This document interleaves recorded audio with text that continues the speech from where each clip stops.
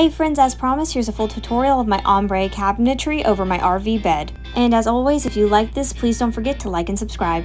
We are currently sleeping in this room while I'm doing all of this work, so my goal is to do enough prep that each day I can clean it up, we can move our mattress back in, remake our bed, and go to sleep. All of our clothes are in here, so that's why I'm doing the plastic wrap over the cabinetry so the dust doesn't get over all of our bedding and our clothes, and I have to wash everything because we pay for laundry, so I definitely want to avoid that. So I knew I would have to paint with the doors on because I'm doing an ombre effect and I need to blend over and around the doors, but I could not keep them on for the full sanding and priming process, so I eventually gave up and my wonderful husband came in and helped me remove everything. So this is the end of the first day. I'm wiping everything down and vacuuming and getting ready to put our mattress back up.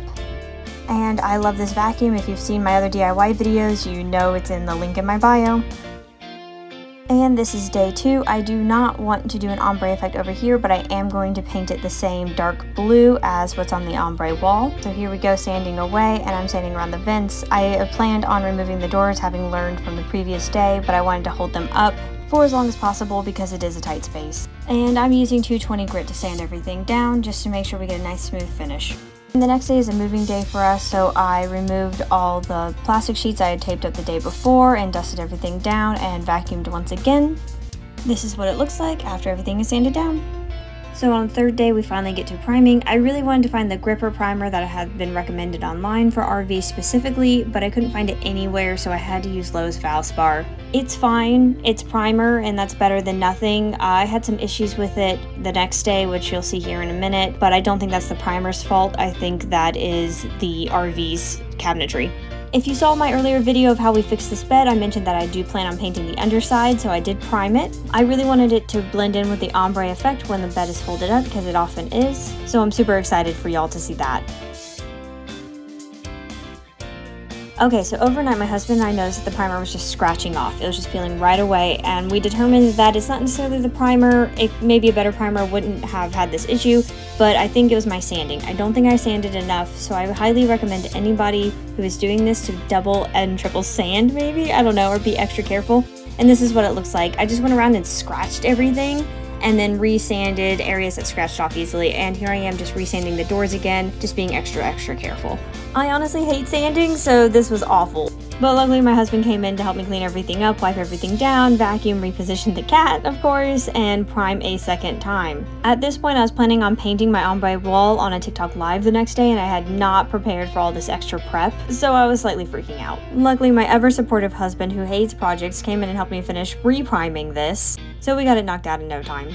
Okay guys, don't come at me for this next thing. I know it's stupid, but this cabinetry is cheap. It is not solid wood, and we are really worried if we unscrewed all the hinges and the handles, we'd just strip it all out and it would never work right again. So I left the hinges on the doors, I left the handles on the doors, and you can see I left those latches on the main framing. And finally to the fun part. So I'm doing this on TikTok Live, so you can see my phone there, and John's helping me answer questions and talk to people, and it was honestly a blast. I should definitely do that more often. I'm just not that outgoing, I guess. And of course, we've got to hold Nico at times. So I paint each stripe of each color onto the cabinetry to do like a first coat. And then that way when I blend, I'm not fighting the white as much and I can do second coats as needed or I can let it be.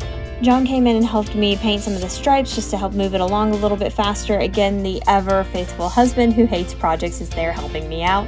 So this darkest blue is honestly my favorite color and I will put all the colors in the description box below. They are all Sherwin-Williams paints. I did get the colors some from Lowe's, but Sherwin-Williams can match anything. So again, you can see my hesitancy to remove anything, so I'm edging around our outlet faceplate and our USB faceplate that we have for charging on either side of our bed. The drawers are easy enough to take out and put back in as needed. I needed to take them out to edge around them, but I needed them in to blend. And now the really, really fun part is I am blending. I did not do this on TikTok Live because the stripes took me about three hours. I am using enamel paint this time and not just basic house paint because it is going on cabinetry and I wanted something more durable. The blending is a little harder, it's not as easy to work with, and I'm definitely relying more on constantly wetting my wet rag, so I definitely recommend doing that. But as long as the paint stays slightly wet, it's just fine, and you can always add more layers if you need to, so don't stress if it doesn't work out the first time, just go back in with another coat and you'll get it there. I also chose not to blend the little ceiling part there. I didn't think it made sense with the design, and here I am. This is my favorite blend, those two blues. I absolutely love it. I didn't know what I was getting myself into blending around a door, but it's not fun. Uh, Uh,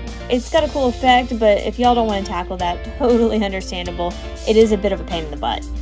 So once I finished all that, I took a little bit of a nap, and then that night I decided to go ahead and tackle this portion of the ombre wall, even though it is about 10 o'clock. This was the easiest part, obviously. It's a flat wood panel, it's a lot smaller, it primed well, it's honestly my favorite part, and I really loved making the ombre flow from one piece to another. I think it's a really cool effect, especially when the bed is up. Highly recommend having a bowl of water or a spray bottle with you to help keep everything wet, and just remember that house paints don't blend as well as artistic paints, so if it doesn't work the first time, just wait, let it dry, go back and do a second coat, and it'll probably work out.